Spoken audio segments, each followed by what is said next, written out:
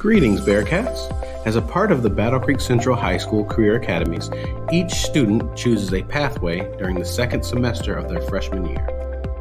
One of the pathways you can choose to join as a sophomore is our business pathway. Are you interested in starting your own business or learning what it takes to keep one running successfully?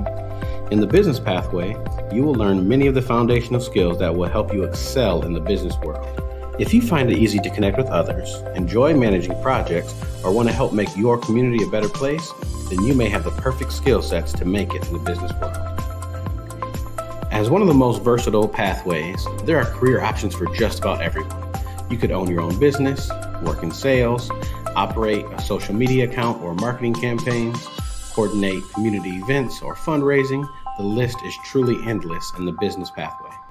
For more information about the other pathways, be sure to check out the other videos in this series. You can also talk to your freshman seminar teacher, the Freshman Academy counselor, or follow the link below for more details and links to all of these videos.